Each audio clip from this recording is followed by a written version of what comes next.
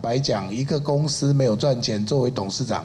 我没有任何的解释。台电连年亏损，外界质疑声浪不断。二零二二年亏损金额更高达两千两百六十五亿元。监察院提出调查报告，指出台电亏损就是因为台湾电力结构八成能源来自火力，更有百分之九十七点三的发电燃料仰赖进口。俄乌战争导致国际燃料价格飙升，所以让采购燃料成本大增到六千一百六十六亿元，比起二零二一年。多出两倍。虽然监察院发函台电要求改正，但是监察院的报告事实上根本就是避重就轻，甚至其实根本就是要刻意的去护航蔡英文的非核家园政策而已。国民党立委痛批监察院报告没说到痛点，根本是在帮忙卸责。而台电持续亏损，却照发员工四点四个月年终，也一度饱受批评。不为了公司将来的死活，这样的。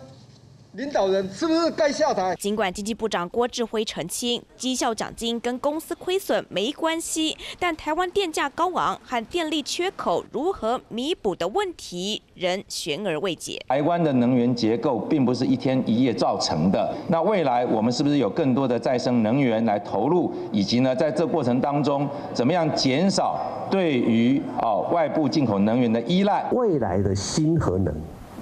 那我们绝对采取开放的态度。他如果没有核安的问题，它能够没有核废料的问题，我们就可以很开放的来讨论。面对企业松绑核能需求声声唤，政府未来能源政策还有没有转换空间？恐怕还得经过漫长讨论才有答案。三立新闻张永全、林佳倩台北报道。